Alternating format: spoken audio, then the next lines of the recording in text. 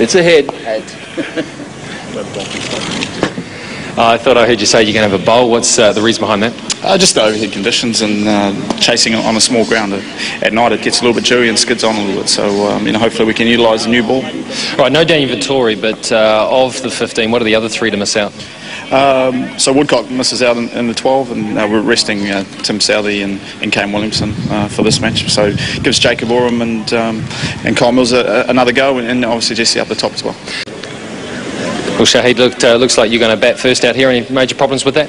Uh, no, but pitch is uh, quite good, uh, but because of the overcast condition, maybe uh, bowling go first is a good idea. But I think it's, it will be not a, really a big difference. Made any changes to your team? Uh, just one change, Shoaib uh, Akhtar is back and uh, Sohail Tanvir we give him a rest. So that's just rest. That's a bit like the New Zealanders' rotation. Yeah, just one change, not three or four changes, just one. Welcome to our coverage here, Seddon Park in Hamilton. There's a bit of cloud hanging around, and it should be a reasonable day for the bowlers. But um, Shahzad will have something to say about that, I am sure, along with Mohammad Hafiz. New Zealand winning the toss, selecting to bowl first.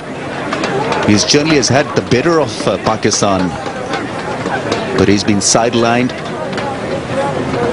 primarily because of that last dodgy spell that he bowled in the last game. Good start, a maiden over for Kyle Mills. Stumbled that loss.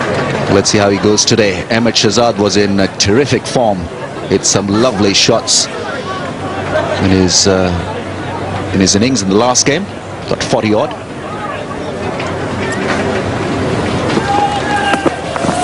That's a good length, but it doesn't carry. Straight away, Hamish Bennett finds a nice length. Going to him on the bounce, just not carrying. Appears to be a slow pitch, and he was uh, way behind the keeper there. He's got to come up few. yards. I think he's done that now, but a little too late.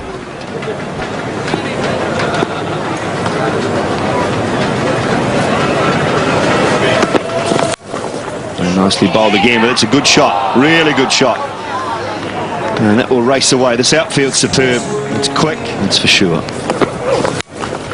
Nicely played again. New Zealand bat, I mean, Kyle Mills can play. And he's registered to come in at number 10 in the order. You'd imagine if Vettori was fit. Possibly Jamie How might drop out if they, if they wanted to strengthen the bowling and, and perhaps weaken the batting a touch. It's a, it's a pretty good dilemma to have. Yeah, but you've got to be careful also that you don't fill in the uh, the ranks with a lot of all-rounders. You've got to have specialists also planted in there. The balance has got to be right. Beautifully driven. Really nice shot that. Oh, good movement there from Kyle Mills. He won't show it, Ahmed Hafiz, but uh, it will have hurt a little. Kyle Mills. Two overs, two maidens. That is a classic spread. Got in the right areas all the time, well, mostly all the time. That one came back and hit him on uh, the belly. Well, this is the delivery that Kyle Mills holds cross seam almost and runs his fingers over it like an off cutter. He doesn't hold it seam up. He holds it cross seam, rolls his fingers across it. We see him bowl it a lot to left-handers. Have a look at this.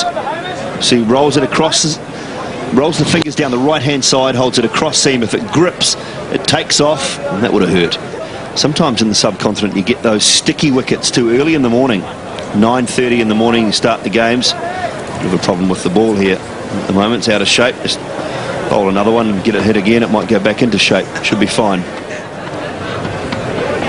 A couple of very nice drives down the ground, one on the onside, one on the offside.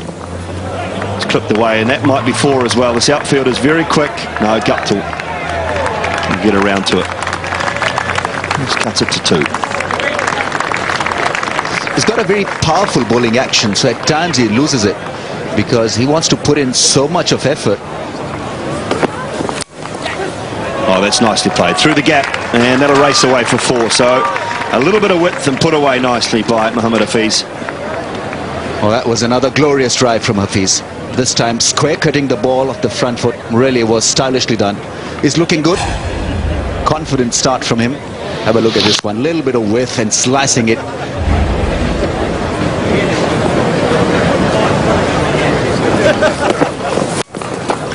I think predictably a little bit short. And Hafiz very quickly onto the back foot. It'll just be two. Martin Guptill coming around. Cuts it. And these two seems to be settling down into their uh, areas of strength. Ahmed Shahzad promoted up the order and now becoming a very good and integral part of this unit. Uriel should be out, taken. Nathan McCullum picks up the catch. Kyle Mills the wicket. And Hafiz has gone in the air and paid the price. Oh, just as we were praising them. Looks to be in good rhythm and maintaining pressure on Pakistan. And in the end, Hafiz caved in to that pressure. Played uppishly and straightforward catch for Nathan McCullum. Trying to hit it on the top and uh, straight away knew that he was in big problem. Soft dismissal in the end.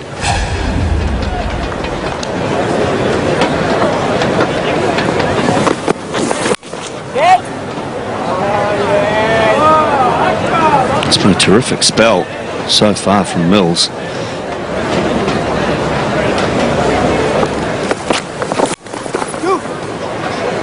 You heard the call. And it's a correct call.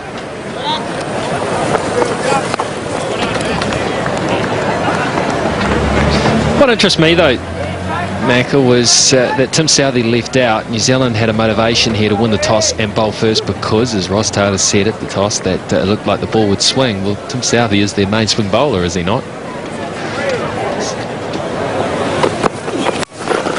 Bang. Four. Wow, that's not bad. Well, as quick as he is, Nathan McCullum at mid-off had no chance.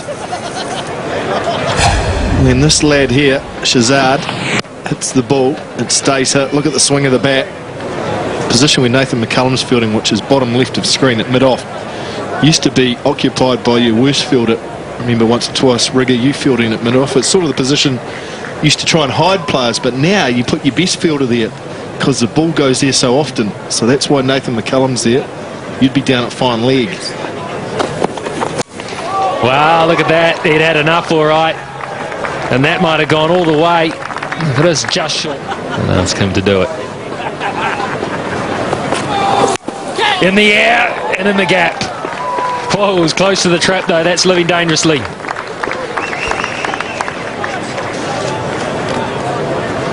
Not far away from Jesse Ryder. New Zealand bowling well to the game plan for Kamran Akmal, who's gone in the air, no control. And it wasn't far away from Jesse Ryder at backward point. He's one of the main bowlers. Whether he could actually bowl another two.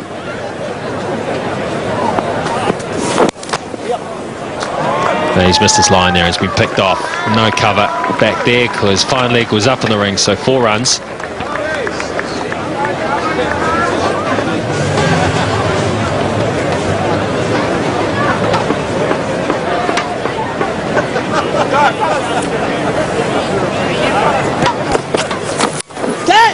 This is fine. This is fine. And because of that, third man can't get round. That's Mills. And that's a welcome boundary for Pakistan.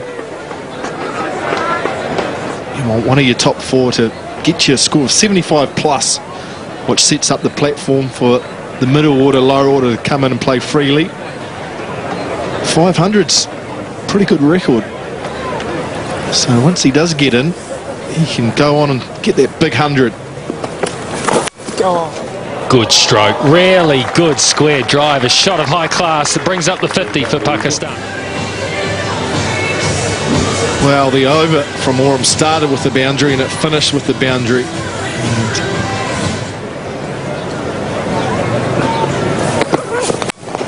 Hard and straight and through.